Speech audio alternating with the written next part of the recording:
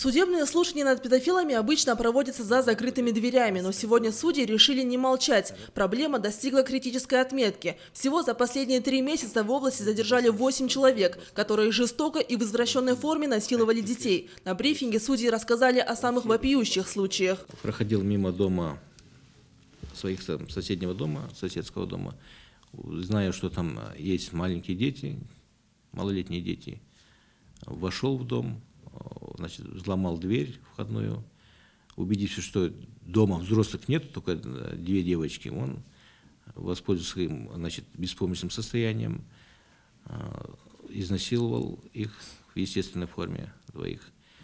После этого значит, родителей на тот момент дома не было, они оставили детей и вышли там по своим делам на 3-4 часа.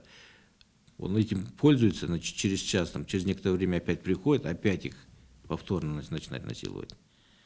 Возраст современных педофилов удивляет. Насилуют детей и пенсионеры. Уголовное дело возбудили против 62-летнего мужчины, который несколько лет принуждал к половым отношениям своих родных дочерей. Самое страшное, педофилами становятся и сами несовершеннолетние. Случаев, когда преступником был подросток, тоже немало. 16-17-летние, 15-летние э, дети насилуют детей младшего возраста, да, 8-10 лет.